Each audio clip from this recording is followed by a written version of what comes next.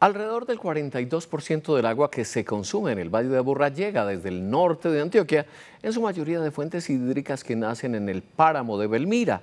Por tal razón, tanto la comunidad como la empresa privada trabajan por la preservación de los bosques en esta subregión del departamento de Antioquia.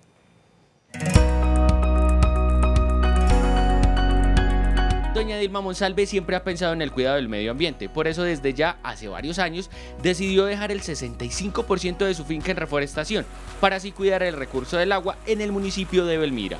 Pero la idea sí sería reforestar todo, todo, y, que esto quedara como, una, como una reserva, un, eh, un pequeño aporte a la humanidad.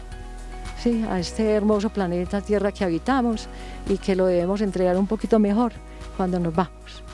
Se trata del proyecto Agua por el Futuro, que es apoyado por diferentes empresas privadas, con el fin de proteger bosques y el recurso hídrico. La iniciativa se viene desarrollando en el norte del departamento, donde actualmente vienen trabajando 44 familias. Y eh, afortunadamente a través de estas intervenciones también se puede mm, impactar el tema del cambio climático porque se reducen o se secuestran emisiones y también la biodiversidad.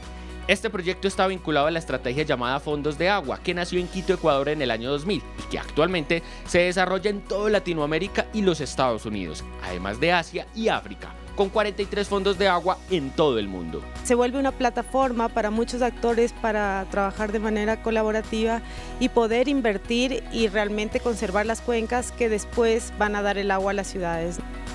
Son más de 610 hectáreas las que hacen parte de este proceso que busca conservar el medio ambiente de esta región del departamento.